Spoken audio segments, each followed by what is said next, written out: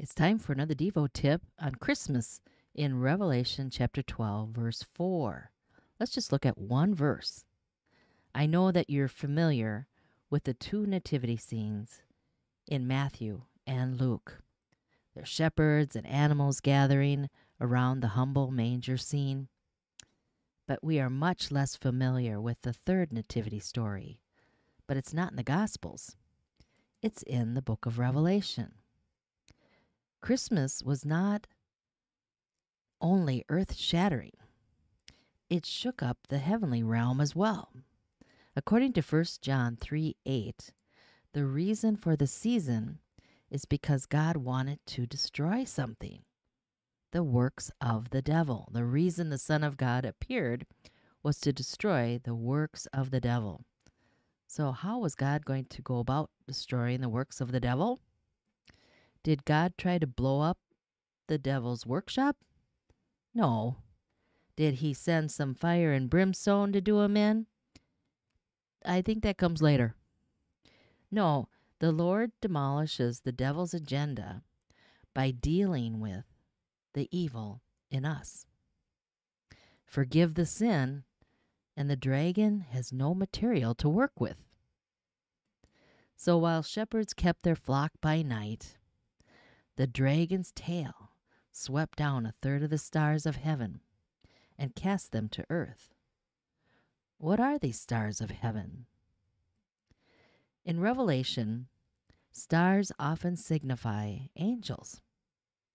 Angels and demons exhibit many parallels. After all, demons are simply fallen angels. Angels come in legions, and so do demons.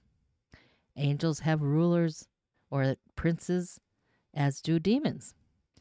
So these demonic stars deceive by exploiting these parallels.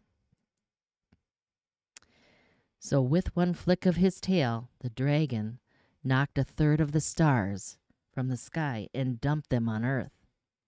The dragon crouched before the woman in childbirth, poised to eat up the child when it came. The context here in Revelation 12 confirms the timing of this diabolical attack. It occurred in conjunction with the birth of Jesus.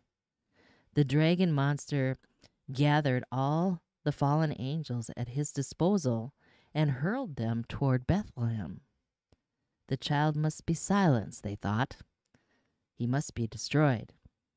The armies of hell were in full assault mode against the one wrapped in swaddling cloths.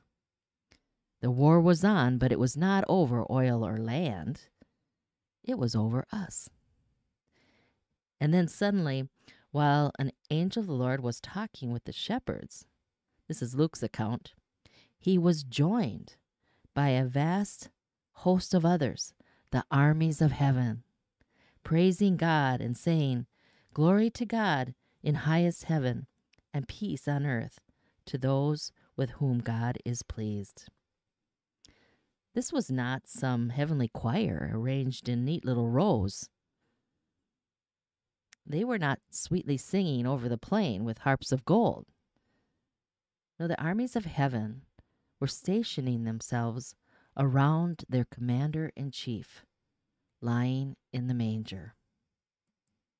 I like how Philip Yancey puts it. He says, from God's viewpoint and Satan's, Christmas signals more than the birth of a baby.